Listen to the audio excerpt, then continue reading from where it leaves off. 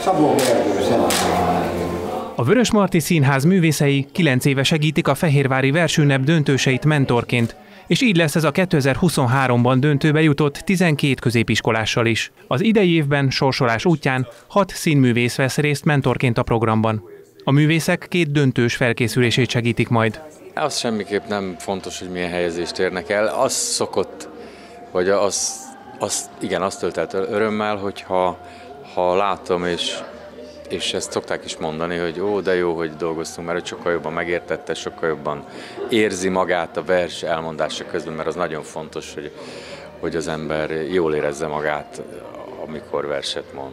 Török Laura nem először vesz részt a Fehérvári vers ünnepen. Elmondása szerint tavaly is nagyon élvezte a mentorával való közös felkészülést. Azok a versmondók, akik már ide kerülnek, azok valamilyen oknál fogva itt is vannak, tehát van közük ehhez, szeretik ezt csinálni, érdekli őket.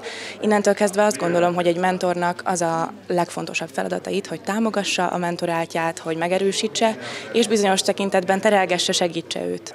Mészáros Attila alpolgármester a város egyik legfontosabb és legkiemelkedő programjának nevezte a Székesfehérvári versünnepet, valamint az ehhez kapcsolódó mentorsorsolás jelentőségéről beszélt. Szeretném megköszönni a Vörös Marti Színháznak és színészeknek, hogy az idejében is vállalták ezt a lehetőséget.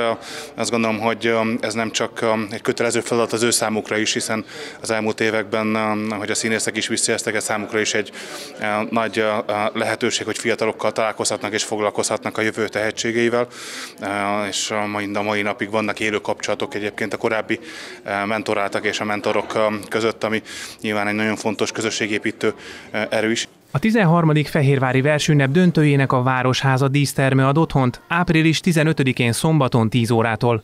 Az esemény nyilvános, melyre minden érdeklődőt szeretettel vár a főszervező Fehérvár Média Centrum.